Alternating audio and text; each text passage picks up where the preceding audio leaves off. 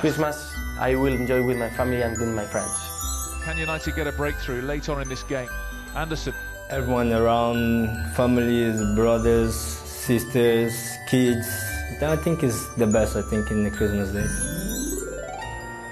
Well, in Spain, I always used to go the 24th at night. We always have a dinner. And the day after, the 25th, we have a lunch. So these two days are the most important days.